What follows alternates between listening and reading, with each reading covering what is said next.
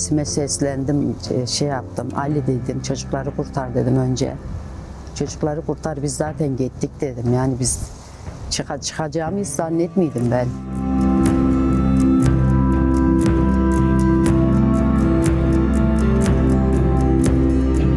Deprem günü.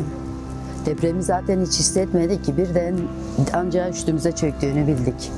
Aniden uykuda tuttu bizi. Zaten hiç kaçmaya falan hiç fırsat olmadı. Kaçamadık yani. Biz dört kişiydik aile.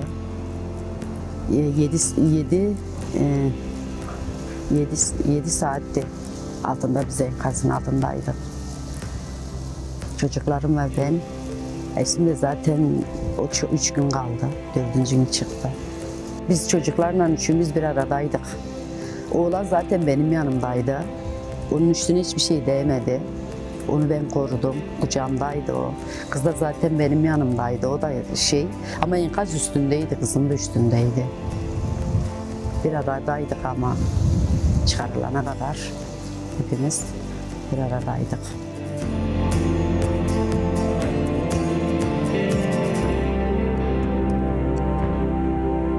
Yani çok korkuyordum ama yani ağrılarım da vardı o an. Hani üzerimde çok büyük duvar, e, enkaz. Bir de artı olaraktan elektrik kablolarına dolanmıştım. Yani onlardan kurtarmaya çalışıyorum kendimi. Bir yandan annem çok korktu. Hani o an çok soğukkanlı davranmam gerektiğini düşündüm ve o şekilde de davrandım yani. Annemgile çok destek oldum. Allah'tan o gün aynı yerde kalıyorduk. O gün hiçbir şekilde sabah olmadı. Bizim için enkazın içine, içerisindeydik. Annem, küçük kardeşim, ben. Ee, çok kötü yağmur yağıyordu. Hava çok karanlıktı. Her tarafta üzerimizde ağırlık vardı. Ee, zaten çok yani zor bir süreçti bizim için. Yani babamın zaten gözümüzün önünde öldüğünü gördük. Kafasının boynuna direkt kolon düşmüştü. O gün hiçbir şekilde yani bizim için sabah olmadı. Çok kötüydü. Yani annem vardı ayağına enkaz düşmüştü. Kafasında hiçbir şey yoktu. Ben çok kötüydüm. Kardeşim olmasaydı zaten benim kafam da kapanmıştı. Kardeşim benim kafamı kendisi açtı.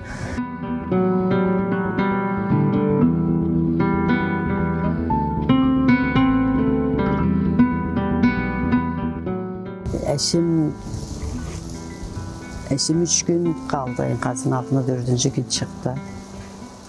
Eşime seslendim, e, şey yaptım. Ali dedim, çocukları kurtar dedim önce. Çocukları kurtar, biz zaten gittik dedim. Yani biz çıka, çıkacağımı hiç ben.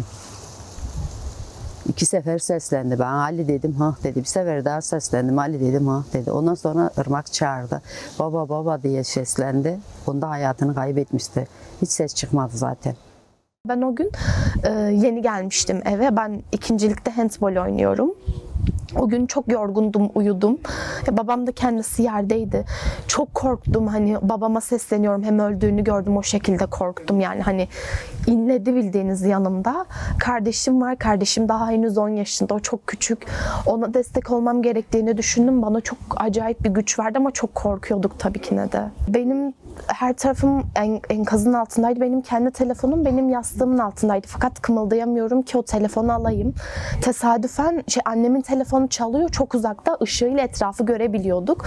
O an zaten ben her tarafın yıkıldığını gördüm. Hani şey sanıyorum böyle 3-5 parça bir şey düştü falan sanıyorum.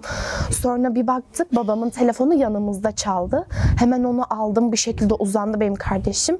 Hemen o telefonu aldı ve bana verdi. Açtık. Ee, o şekilde bulduk o telefonu. Yani normalde çok panik bir insanım ama o an bana öyle bir güç geldi ki e, hani kendi kendime dedim sakin ol. Telefonun şarjı çok azdı. Arayan kişilere hemen dedim ki bakın dedim biz buradayız dedim. Birebir konumumuzu verdim. Hani telefonumuzun şarjı çok az ve zaten çekimi yok. İlk başta şifresini bilmiyorduk. E, direkt acil dur acil durumlara girdik. Girdim ben. E, hani arayabileceğim aklıma gelen tüm numaraları aradım. Fakat hepsi meşguldü. Hepsi meşguldü. Yani eninde sonunda kardeşim şifreyi tahmin etti ve bir şekilde bulduk. Yani arayabileceğim kim varsa akraba, arkadaş hepsini aradım ama yani çoğuna zaten telefon çekmediği için ulaşamıyoruz. Yani çok kötü bir süreçti.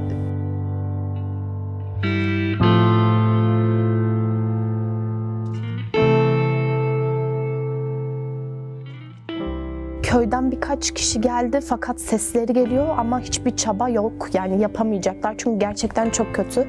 Karşı köyde Çöçeli diye bir köy var. Oranın muhtarı birkaç arkadaşla beraber gelmişti bizi çıkarmak için. Onlar çok uğraştı. Yani zaten şöyle küçük bir delik vardı. O deliği böyle genişlete genişlete yavaş yavaş kırmadan etrafı o şekilde çıkarttılar. Ee, o- yani onlar geldi bizi kurtarmaya. Onun dışında hiçbir şekilde yani günler geçti. Bırakın o günü. Ya bırakın 6 Şubat'ı.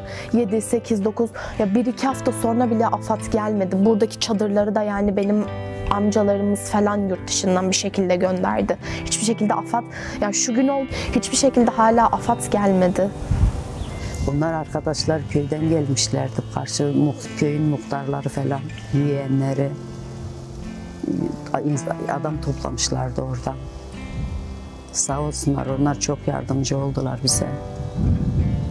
Onlar olmasaydı zaten biz de çıkamazdık. Hiç çıkamazdık. Önce çocuklarım kurtuldu sonra en son ben. Beni kurtardılar. Onlar gelmeseydi muhtemelen biz ikinci depremde tekrardan üzerimize bir şeyler dökülüp tekrardan ölecektik yani babam gibi biz de. Dedim çıkamayız herhalde. Burada kaldık dedim. Kurtarmazlar bizi kimse yoktur yani gelen yok giden yok. Çıkamazdık zannetmiyorum. Yani hiç hatırlaması bile çok zor. Hiç gelmediler. Hiç kimse. Hiç kimseyi görmedim ki ne ben zaten. Kimseyi görmedim. Sadece köylülerin çıkardığını bileyim kendi çabalarından. Başka da hiç bilmiyorum. Beni zaten çıkınca doğru hastaneye götürdüler. Ayağım çünkü çok kötüydü. Ben dedim ayağım kırıldı dedim. Yani kırılmayı bırak dedim ayağım kesilir herhalde. Ayağım çok kötüydü. Daha hala da ayağım uyuşuk. Başım ama hiç, hiç yoktur ayağımda. Kötü durumda yani.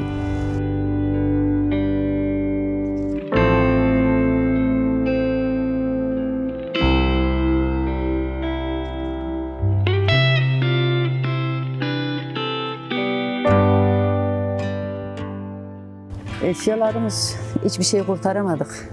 Eşya olarak hiçbir şey. Bir canımızı kurtardık zaten. Her şeyimiz enkazın altında kaldı.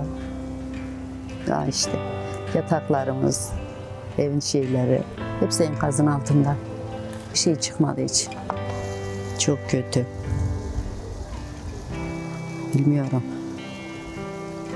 Bu günleri yaşamak istemiyorum bir daha hiç. Çocuklarımın hala şeyleri bozuk. Kız kendine gelemedi daha hala. Çok kötü. Bizim aileden eşim vefat etti.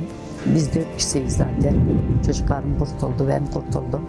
Sadece eşim bizden vefat etti. Şu anda hiç daha bilmiyorum.